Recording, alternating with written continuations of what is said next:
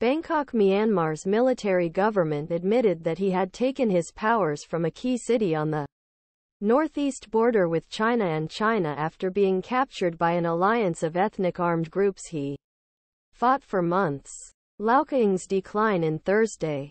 The ethnic alliance has been the largest of a series of defeats that Myanmar has been subjected to. An attack on October 27. Ethnic armed organizations have fought for more autonomy for decades. But in February 2021, Myanmar hugged civil war since the selected government of Aung San Suu Kyi, which led to armed resistance throughout country by pro-democracy forces.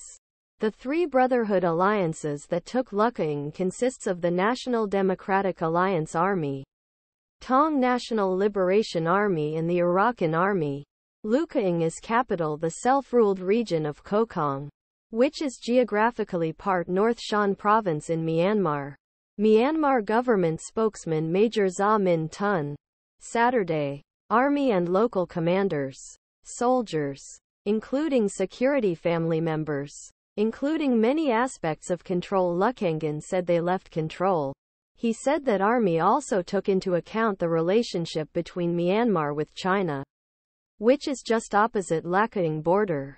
Beijing. Artillery shells on Wednesday after landing on the land wounded five people protested. A statement published by Alliance late on Friday. The entire Kokang region, referring to junta of Myanmar's ruling junta, announced that it has become a military council area. He said that 2,389 military personnel and family members, including six Brigadier General General, surrendered on Friday and all were evacuated to security. Video clips circulating on social media showed that soldiers and family members were transported in various vehicles. It is unclear whether three Brotherhood alliances would try take aggression Shan out of province. Shan, but promised to continue fight against military government.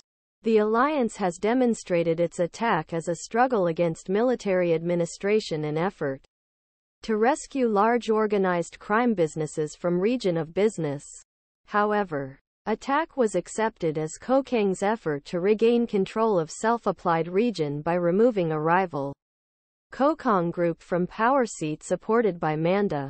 Manda commander Pung Darin said in a New Year's speech published by Kokang an online media site, seized more than 250 military targets and five border transitions with China.